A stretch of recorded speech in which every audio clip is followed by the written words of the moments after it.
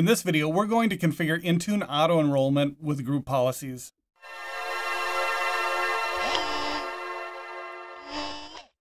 Hello everyone, I'm Travis and welcome to my channel. In order for our clients to be managed, they need to be enrolled in Intune.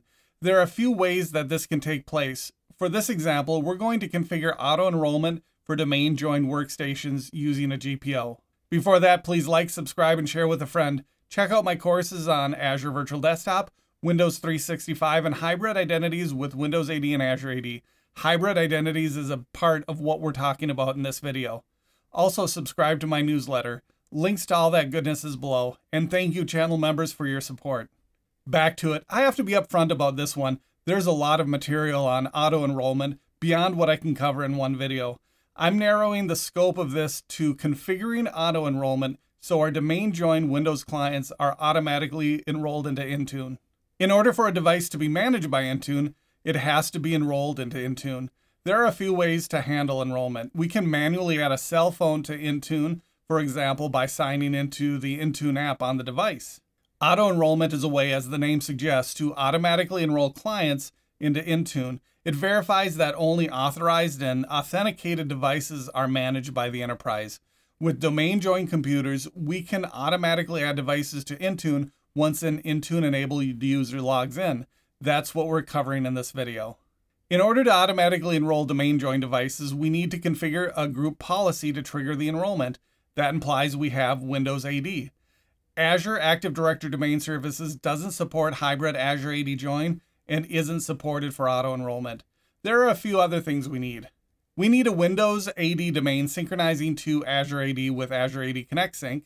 Azure AD Connect Sync must be configured to synchronize devices, not just users. And we have to use Azure AD Connect Sync. Azure AD Connect Cloud Sync does not yet synchronize devices. The enterprise must be configured for mobile device management services, and for this example, mobile device management is scoped to a user group. The Windows devices will configure for auto enrollment can't already be joined to Intune and have to have a supported version of Windows 10 or Windows 11. To configure the group policy object, the domain needs an administrative template for Windows 10 or Windows 11. The administrative template defines the settings in our group policy. And here's where things get interesting. There are administrative templates available for multiple versions of Windows 10 and Windows 11, but the Windows 11 template is not backwards compatible with the Windows 10 settings. For the purpose of this video, we simply need to use a recent template because the MDM setting we're using is available on both. I'll include a link to a blog post below that outlines what to do if you have both Windows 10 and Windows 11 in the environment. Coming up, we're going to configure our environment for MDM and enable the group policy. Then join a client to the domain and verify it's added to Intune. Be sure to stick around to the end to learn about the mistakes and problems I had when I created this demo. Let's jump into the portal to get started. Here we are in the Intune portal at intune.microsoft.com. Let's start by creating a group for our mobile device management users. This video is on auto-enrolling devices, but Intune is licensed to users, not devices. This group is for our MDM-enabled users. Go to Groups, create a new group, leave it as the type security and give it a name, MDM users for this example. You can add a description if you'd like leave the rest, and go to members. Add users with an Intune license assigned. This example, it's test one.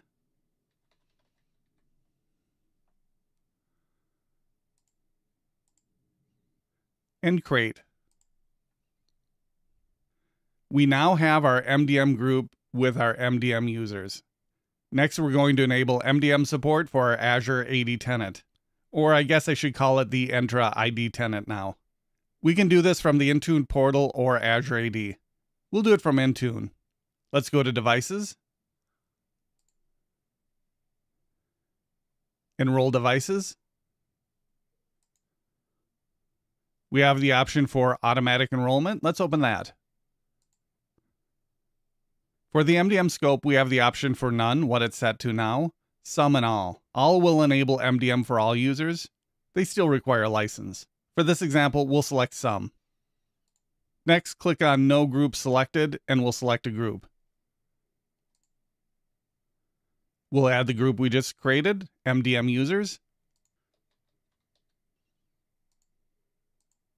Select the group. We can leave the terms and compliant URL as it's set, and we won't change MAM.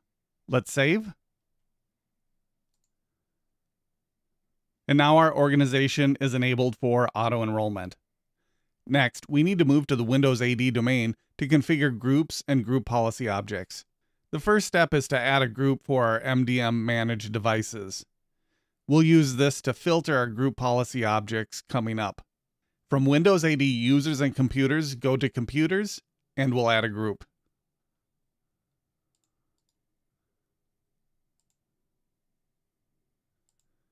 We'll call this one MDM devices. And click OK. We'll add our devices to this group in an upcoming step. Now that we have our group, let's go to Group Policy Management and create our Group Policy object. From Group Policy Objects, let's create a new group policy. And we'll call this MDM Enrollment.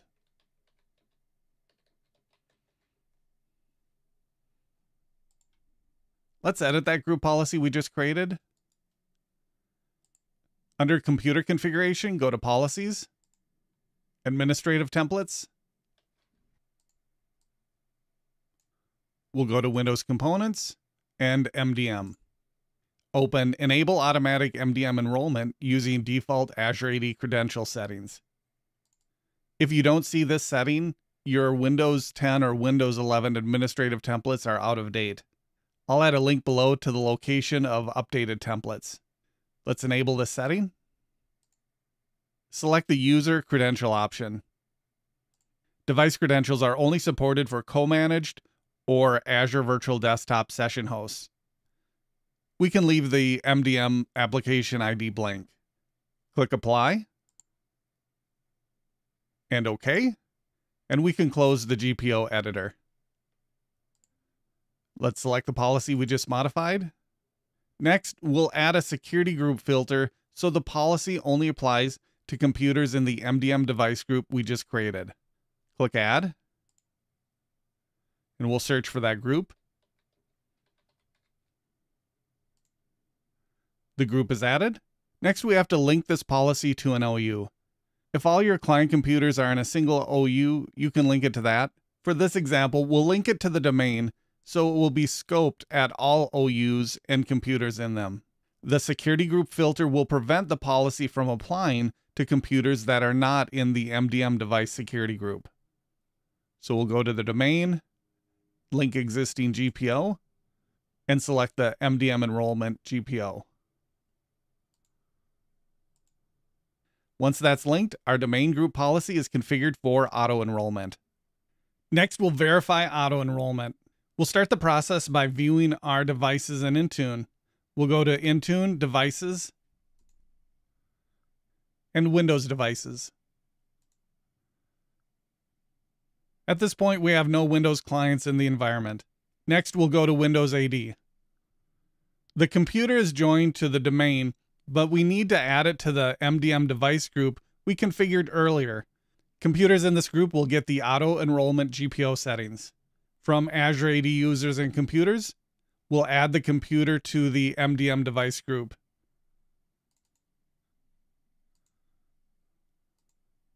Be sure to include computer objects. The computer for this example is MDM Client 1. We'll apply. Remember, if you're in a domain with multiple sites and domain controllers, you may need to wait for replication to take place. Next, we'll restart the client computer to apply the GPO. This client happens to be an Azure VM, so let's go to the Azure portal. And we'll restart the client. We could also log in and run GP update. While we're waiting for the restart, let's go to Azure AD and verify the client is showing as hybrid joined. Here we are in devices and Azure AD. Let's go to all devices.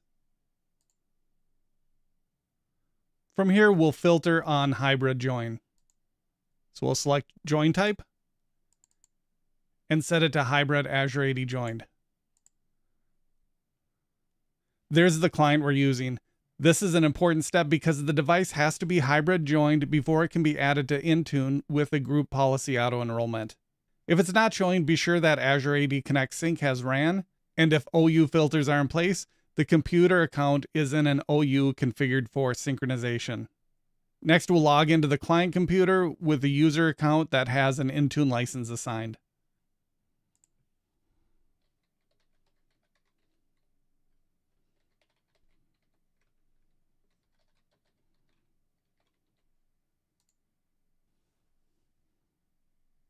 Now that we're logged in, let's open up Task Scheduler as an administrator to check for a device management task.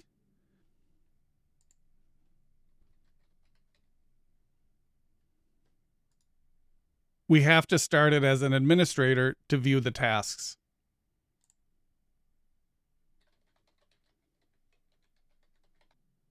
Once in Task Scheduler, we'll go to Microsoft, Windows, and enterprise management. We have a task called schedule created by enrollment client for automatically enrolling in MDM from AAD. That indicates the group policy was applied. Let's go to Intune and see if our client is available. Here we are in Intune. Let's go to Devices and Windows. And there's our Windows client with our user listed as the primary user. One thing to note, this didn't happen immediately. I did have to wait and refresh a couple times before it showed up as compliant.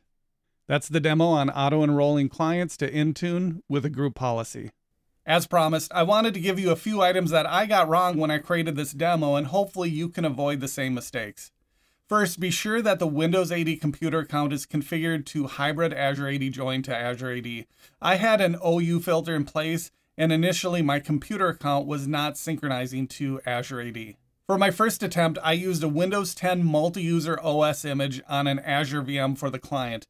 The steps in this video are not intended for a multi-user OS. There's a different GPO setting for that. Also, I was testing in a virtualized environment.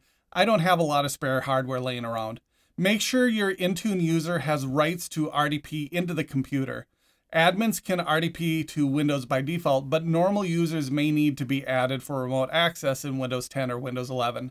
I logged in as a local admin, joined the VM to the domain, and added the user for RDP access before recording this video. That's a walkthrough of how to automatically enroll Windows AD joined devices to Intune with a group policy. Please don't forget to like and subscribe, and thanks for watching.